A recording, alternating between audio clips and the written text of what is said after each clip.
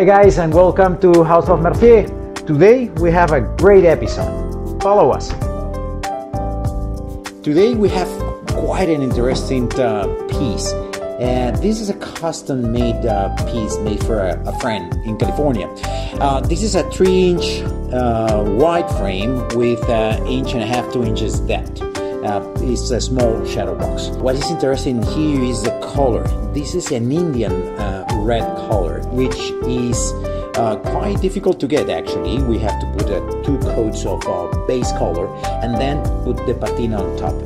What is interesting in this case is uh, besides the color, uh, the tags that we have put on top of them has to match perfectly on the size and on the color. The match the, the, the tags that we have in this case are made out of copper.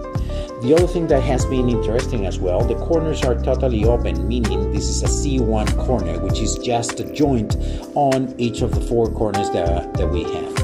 In this case, what we can do is use custom colors as requested. Uh, you have seen the um, color samples that we have, so you can imagine this one in a blue, or maybe in a, uh, a silver gray, or maybe in a yellow. Um, that we can combine the color that the designer or your customer would like to would like to have this time. Uh, thank you very much for having us today. Um, has been a fantastic, fantastic episode. Um, I hope you learned from, from what you show, what you saw, and don't forget to follow us. Uh, follow us on uh, the social media: Instagram, Facebook, Pinterest, um, YouTube, and also in www.houseofmercier.com. Thank you very much for having us. See you then.